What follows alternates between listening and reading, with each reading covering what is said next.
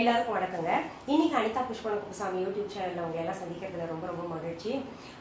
இன்னைக்கு பாத்தீங்கன்னா உங்களுக்கு முருங்கைக்கீரையில பொரியல் செஞ்சு காமிக்க போறேங்க. ஏன் மேடம் இதெல்லாம் நாங்க சர்வசாதாரணமா செய்வோம் அப்படின்றது எனக்கு காதில் கேக்குது. பொதுவாகவே பார்த்தீங்கன்னா ஒவ்வொருத்தருக்கும் ஒவ்வொரு ஸ்டைல் இருக்கும். இது உண்மையாலுமே எல்லாருக்குமே தெரியுங்க என்னை விட நீங்கள்லாம் நல்லா சமைக்கலாம். இருந்தால் கூட எனக்குன்னு ஒரு ஸ்டைல் இருக்கும் இல்லையா? எல்லாருக்கும் பொதுவாக செய்கிற ஒரு பொரியல் தான்.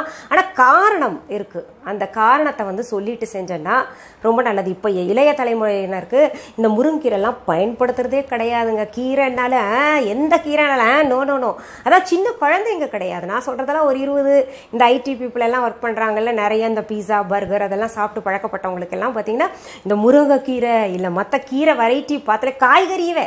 மொத்தமாக பார்த்தா அவங்களுக்கெல்லாம் பிடிக்கவே மாட்டேங்குது. அது ஒன்று சமைக்கணுமா? அது இப்படி பண்ணுமா? அப்படி பண்ணுமா? ஆ நோ நோ. தேங்காயெல்லாம் போட்டு செய்யணும் அப்படின்றாங்க. தேங்காவை பற்றி நான் ஒரு ஆராய்ச்சி படித்தேங்க அதாவது கேன்சர் நோயை தீர்க்கக்கூடிய நல்ல ஒரு மருத்துவம் தேங்காயில் இருக்குது அதனால் நிறைய தேங்காய் எண்ணெய் பயன்படுத்துங்க. தேங்காய் எண்ணெய் சமையலில் பயன்படுத்துங்கன்னு இப்போ சொல்லிட்டு வராங்க அம்மா. ஆராய்ச்சி பண்ணிட்டு. அதனால் தேங்காய் பால் குடிக்கிறது தேங்காய் எண்ணெயில் சமைக்கிறதெல்லாம் ரொம்ப ரொம்ப நல்லது. சரி அது தவிர பார்த்தீங்கன்னா இந்த முருங்கைக்கீரை எதுக்காக செய்கிறேன்னா இந்த ப்ரெக்னென்ட் லேடிஸ்க்கு ரொம்ப ரொம்ப ரொம்ப ரொம்ப நல்லதுங்க. இப்போ பார்த்தீங்கன்னா என்கிட்ட வந்து கேட்குறாங்க நான் அது இப்போ தான் சின்ன பொண்ணு அவங்க. எல்லாருமே இப்போ ஒரு இருபத்தி நாலு இருபத்தஞ்சு வயசில் கன்சீவ் ஆகி இருக்கிறவங்க நிறைய பேர் கேட்குறாங்க மேடம் எங்களுக்கு என்ன சாப்பிடணும்? என்ன சாப்பிடக்கூடாதுன்னே தெரில மேடம் அதனால கொஞ்சம் இந்த ப்ரெக்னென்ட் லேடிஸ்க்காக ஏதாவது சொல்லுங்கள் சொல்லுங்க ரெசிபீஸ்னு சொல்லிட்டு பொதுவாகவே அவங்களுக்கு ஜென்ரலாக சொல்கிறேங்க ட்ரை ஃப்ரூட்ஸ் எல்லாமே சாப்பிடுங்க. ரெய்சின்ஸ் அதாவது காஞ்ச திராட்சை இருக்கு இல்லையா? அது நிறைய சேர்த்துக்கலாம். அயன் ரிச் ஃபுட்டு நிறைய சாப்பிடணும். ரத்தம் வந்து இந்த நேரத்தில் நமக்கு நிறைய உடம்புல ஊறணுங்க. அப்போ தான் குழந்தை நல்லா கலராகவும் பிறக்கும். அதோடைய ஆர்கன்ஸ் எல்லாமே நல்லா அழகான டெவலப்மெண்ட்டில் இருக்குங்க. ப்ரோட்டீன் கால்சியம் அப்புறம் வந்து அயன் ரிச் ஃபுட்டு நிறைய சாப்பிடணுங்க.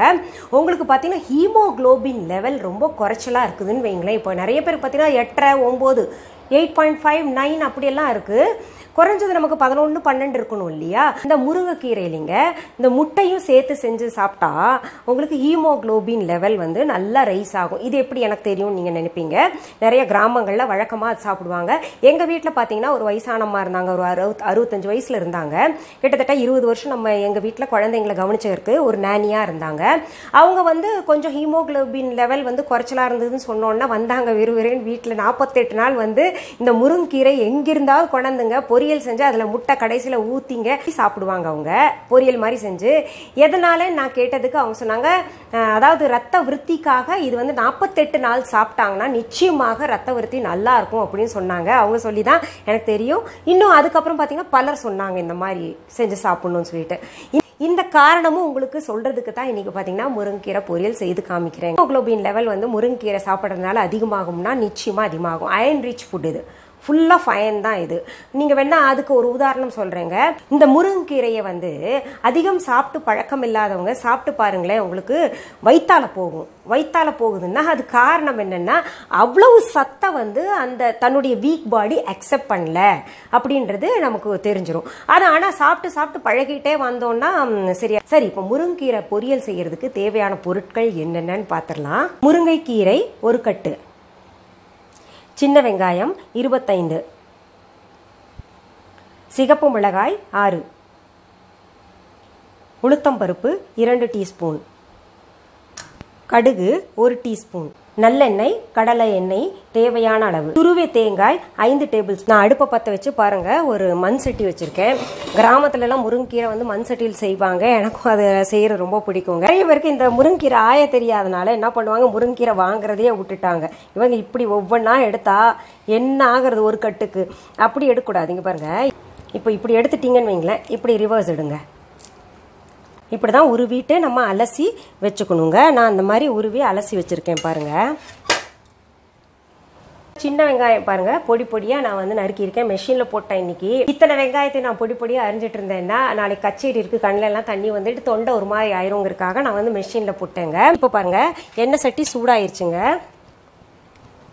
இப்போது நம்ம நல்லெண்ணெயும் போட்டுக்கலாம் கொஞ்சம். நல்லெண்ணெய் ஒரு டீஸ்பூன். கடலெண்ணெய். நான் செக்கில் ஆட்டின கடலெண்ணெய் தான் எப்போவுமே பயன்படுத்துவேங்க. மிளகா கிள்ளிக்கலாங்க. அதில் இருக்கிற விதையெல்லாம் எடுத்துக்கலாம். இப்போ பாருங்கள் எண்ணெய் போக வருது. அது அநேகமாக வந்து சூடாயிருக்கும். உளுத்தம்பருப்பு மொதல் போட்டுக்கலாம். அது பாதி செவக்க ஆரம்பிச்ச உடனே நம்ம கடுகு போட்டுக்கலாங்க. அடுத்தது பாருங்கள் சின்ன வெங்காயம் வச்சு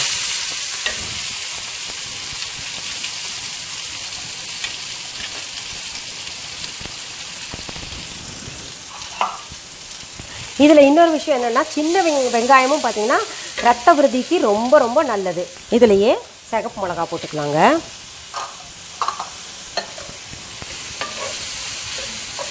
நீங்கள்லாம் நினைப்பீங்க இவ்வளோ ஃபாஸ்ட்டு உலகத்தில் நமக்கு இதெல்லாம் இந்த சட்டியிலலாம் சமைக்க முடியுமான்னு சொல்லிட்டு. பொதுவாகவே பார்த்தீங்கன்னா கல் சட்டியோ மண் சட்டியோ எது இருந்தாலும் ஒரு தடவை தான் சூடாகணும். சூடாயிட்டா டக்கு டக்குன்னு நம்ம சமைச்சிட்டு போயிட்டே இருக்கலாங்க.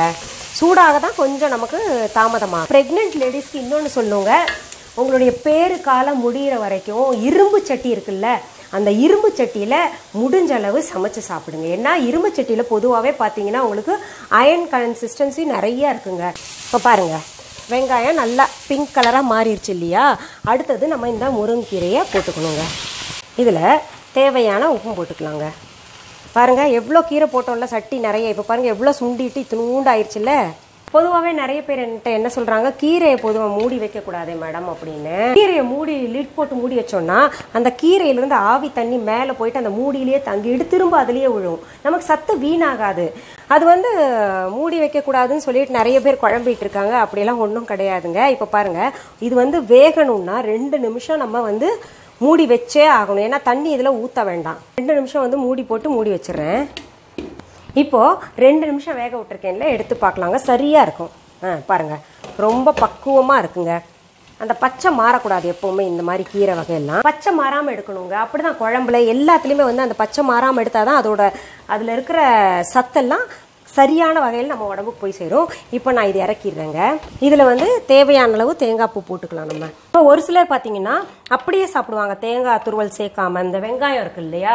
அதனால அது போதுன்ற மாதிரி சாப்பிடுவாங்க. ஒரு சிலருக்கு வந்து தேங்காய் பூ வேணும்பாங்க. வேணுங்கிறவங்க போட்டுக்கலாங்க. இப்போ நான் உங்களுக்கு வழக்கமாக சொல்லுவேன்ல தேங்காய் பூ வந்து நம்ம அடுப்பில் இருக்கும்போது போடக்கூடாது. இறக்கி வச்சு தான் போடணும்னு சொல்லிட்டு. தேங்காய் பூ சேர்க்கறதுனால பார்த்தீங்கன்னா வயிற்று புண்ணெல்லாம் ஆறுங்க. பாருங்கள்